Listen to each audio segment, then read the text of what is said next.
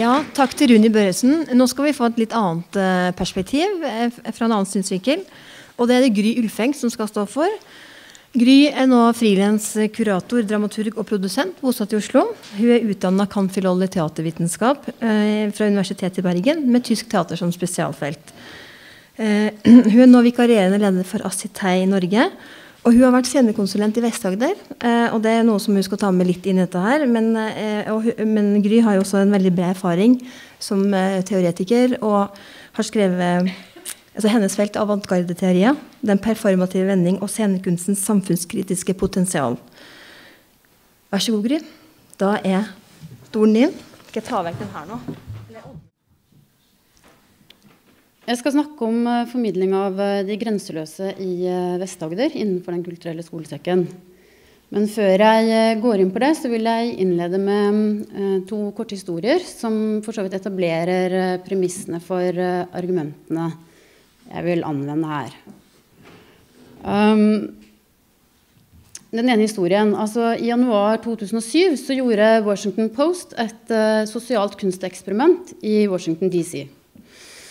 Eh, de satte eh, Joshua Bell, som er en av verdens mest ledende fiolinister, på eh, metrostasjonen Le Enfant Plaza.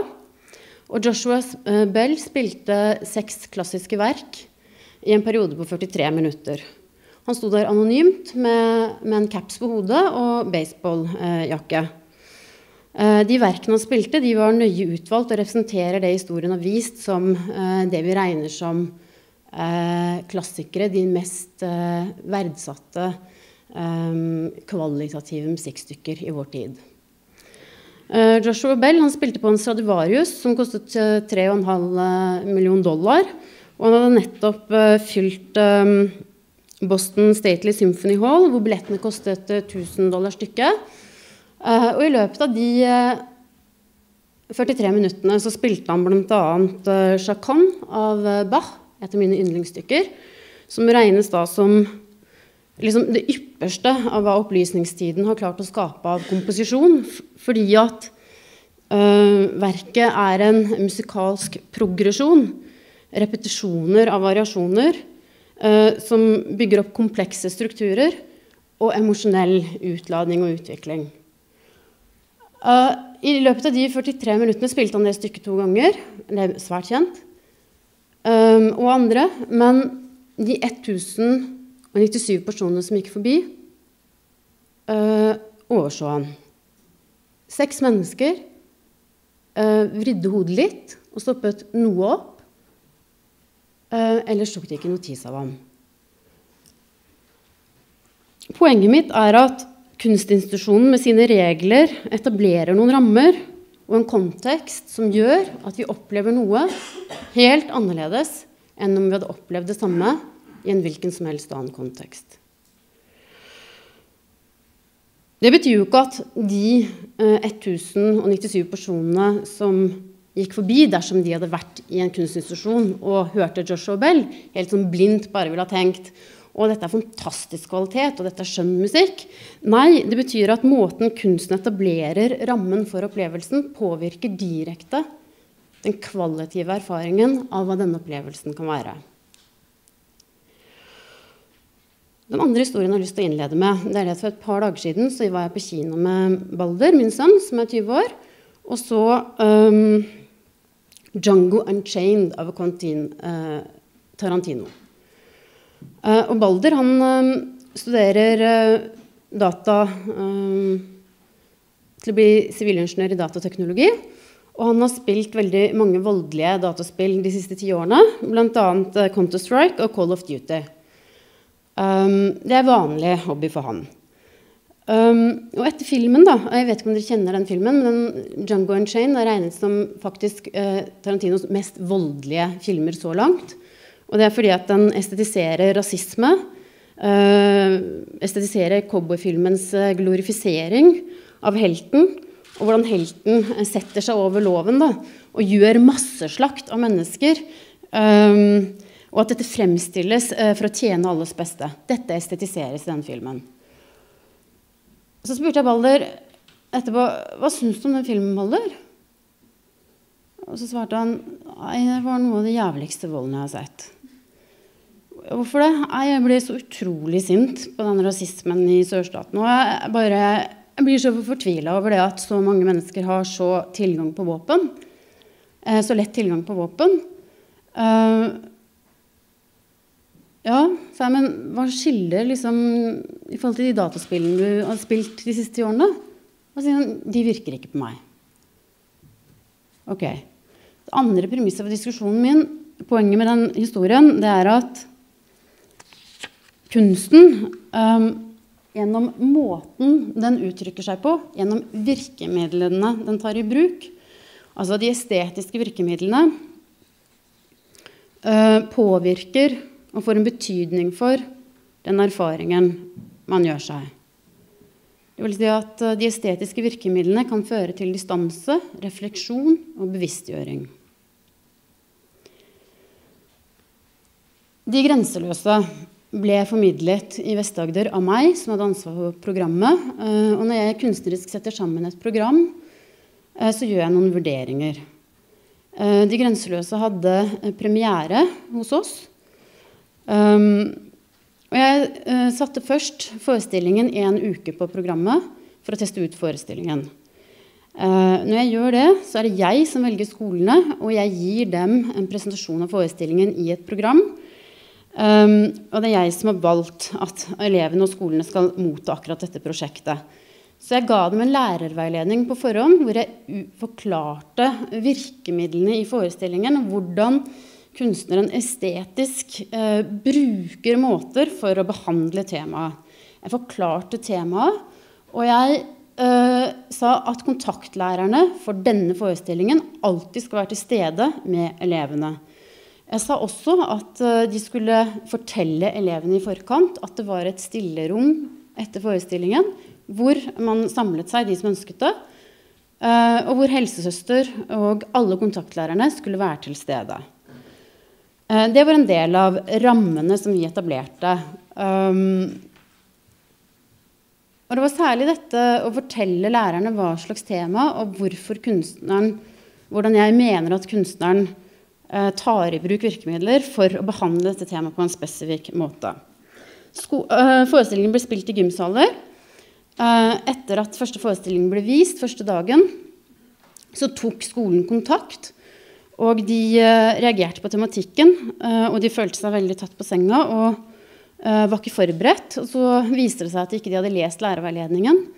Og de hadde heller ikke gjort noe av det som jeg hadde skrevet. Og vi hadde um, og de hadde snakket med neste skole, som var naboskolen, og bedt sagt til de at ikke de burde vise den. Uh, så jeg snakket med de lenge og så spurte om de syntes forestillingen var god. Og, og dersom de hadde vært forberedt på temaet, ville de da uh, håndtert på en annen måte? Ja, svarte de. Så jeg ringte til neste skole og uh, alle de andre skolene og snakket med alle kulturkontaktene.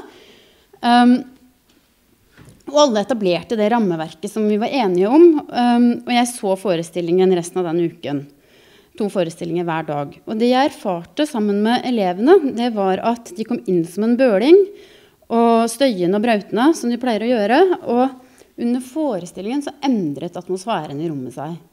Det ble en enorm, energisk, lyttende uh, situasjon hvor du kan erfare i rommet at uh, menneskene uh, nær sagt blir lydhøre og denne opplevelsen av felles nærvær den var også til stede i stemningen etterpå. For elevene var helt rolige. De beveget seg veldig sånn stille ut. Og når man ser veldig mye kunst med barn, så er disse eh, opplevelsene av 7. til 9. klasse veldig viktige. Man kan lese veldig mye ut av det. Eh, lærerne, foruten den første skolen, de var jo også fornøyd, men opplevde at dette var en veldig viktig, sterk opplevelse med barna. Og enkelte snakket og kom inn i stillerommet. Andre satt igjen eller var annerledes etterpå, kanskje mer tilbaketrukket etc. Men det avgjørende var kanskje at for storgruppen da, så var det veldig livlige samtaler om denne forestillingen organisk sett i forløpet i etterkant. Uh, Min vurdering for å pro programmere det grenseløse altså, Når man lager programmer og skal vurdere forestillinger, uh, slik som jeg gjør, så bruker man jo sin faglige inngang. Og da, uh, sånn som med De grenseløse, så var jeg da nødt til å se uh, prøveforestillinger. Og jeg fulgte da prosjektet under hele utviklingen. Ikke sant? Og når jeg da skal programmere for å vurdere, så bruker jeg noen teorier. Jeg bruker korrespondanseteorien og distanseteorien. Korrespondanseteorien i estetikken og resepsjonsteori det er at uttrykket i kunsten fører til et inntrykk som er helt likt, og så kopierer tilskueren det som skjer i kunstverket. Det er korrespondanseteorien. Det vil si at um, i et uh, dukkehjem Nora går, alle kvinner går. Uh, Hedda Gabler skyter, viser at Hedda Gabler skyter seg på scenen. Alle kvinner går og skyter seg. Det er korrespondanseteorien. Distanseteorien um, altså, For å si litt mer om det. Altså, noen hevder ut fra korrespondanseteorien i estetikken at, og i resepsjonsforskningen at hvis man bruker et naturalistisk kunstbegrep, spesielt altså etterligning én til én, så kan man kanskje ikke utelukke for enkelte sårbare grupper at på tross av kunstinstitusjonens regler og rammer for forståelsen påvirkes direkte til å kopiere handlingen. Det kan man jo ikke utelukke eksperimentelt sett. Men med grunnlag i korrespondanseteorien så tenker man jo også at eventuelt så vil jo, hvis man gjør en god handling på scenen, føre til at alle redder verden og går ut og gjør gode handlinger. Men det vet vi. Vi kan veldig enkelt se det på de gode handlingene at sånn er det ikke. Og forskningen viser at korrespondanseteorien i estetikken har veldig lite for seg. Resepsjonsforskningen, jeg er jo resepsjonshistoriker, viser ut fra Og man har da utviklet en annen teori som heter distanseteorien. Og den er sånn her. Uttrykket i kunsten fører til et inntrykk som er forskjøvet. Det vil si at man tenker at kunstuttrykket gir et inntrykk som lager forskyvninger. Det er ikke én-til-én-forhold mellom kunst og verden. Denne forskyvningen har et enormt potensial til å skape refleksjon og distanse. Eksempel. Ut fra distanseteorien tenker man Nora går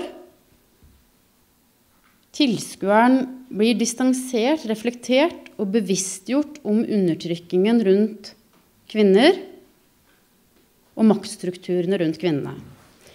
Så når jeg programmerer i dette tilfellet eh, og tar for meg temaet, tok jeg for meg temaet selvskading spiseforstyrrelser, og så går jeg da og vurderer opp imot de kunstneriske virkemidlene.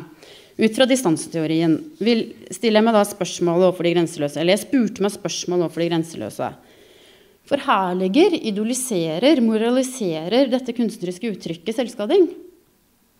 Og så stilte jeg meg spørsmålet blir temaet behandlet med virkemidler som skaper distanse, nødvendig for å bidra til en refleksjon? Nødvendig for å vende blikket mot seg selv? Helt grunnleggende for bevisstgjøring. Og da så jeg på virkemidlene, de kunstneriske virkemidlene i prosjektet underveis. Og da gjør man sånn, Når man da jobber kunstfaglig, så gjør man vurderinger. Da gjorde jeg denne vurderingen. Jeg så på dramaturgien, og da så jeg at i denne forestillingen ser vi at de bruker overdrivelse og forenkling. Det er akkurat det samme som Tarantino gjør. for så vidt. Det er en enorm overdrivelse og en forenkling, en veksling. Det er det som også bidrar til å skape distanse. Hvordan blir temaet behandlet? Innenfor et kunstbegrep her så ser vi at det er ikke naturalistisk. Det skjer gjennom repetisjonene, baklengs, forlengs, forskyvningen, det diakrone mellom danseren på scenen og bildet bak. Dette er også en distanseringsteknikk, men som også ungdommen kjenner veldig godt igjen og kan avlese veldig godt. For det er en resirkulering av virkemidlene i populærkulturen som ungdommen uh, er vant til å lese. Jeg så på karakteroppbygningen. Hvordan uh, bevisstgjør uh, karakteren her? Det er ikke en oppbygging av én bestemt karakter. Vi ser at danseren uh, har en kroppsliggjøring, en veldig sterk, energisk kropp. det motsatte av en taper, det motsatte av å være underlagt de maktstrukturer vi ser forestillingen problematiserer. Så det er også en forskyvning mellom karaktertegningen og tematikken. Um, Ja, ja. Det er fint. Men jeg bruker ordet tar, jeg fortsetter, jeg, for jeg vil avslutte. For jeg er i nærheten av avslutningen. Det er viktigere enn at vi rusher, for det er to minutter. ikke sant? Det gjør det meg. Er det greit? Fint. Så ut fra min analyse av det grenseløse, da, så handler dette om å ta virkeligheten inn i kunsten og bearbeide den på estetiske premisser. Jeg mener at det er å resirkulere ungdommens temaer kunstnerisk på måter som skaper distanse. Og jeg opplever at det aktiverer til refleksjon gjennom kunstnerisk form. Um, jeg mener at kunsten på denne måten har erkjennelsesrom, eller tilrettelegger for erkjennelsesrom med potensialer for forståelser som vi ikke ville fått om vi hadde opplevd det samme, f.eks. selvskading, på et hvilken som helst annet sted. YouTube, bok, snakking etc. Um, og jeg mener at dette verket synliggjør maktstrukturer, ofte selvpålagte, som viser den eksistensielle smerten som krenkelsen innebærer, og løfter det inn i et kollektivt rom. Sånn at individet ikke står alene. Og jeg tror at det er den som eh, erfaringen som scenekunsten har, da, å erfare noe sammen um, Det ligger et enormt potensial i, denne, i, dette kunstverket. Så for meg så er De grenseløse et dypt humanistisk prosjekt på samtidskunstens virkemidler. Um, og jeg tenker at det er veldig viktig at um, selv om vi kanskje nødvendigvis ikke kan utelukke smitteeffekten, at vi reiser spørsmålet for sårbare enkelttilfeller er det det som skal styre valgene vi tar, med sikte på kvalitet og alt det man vinner ved å programmere sterke kunstprosjekter, uh, som jeg mener dette er. Takk for meg.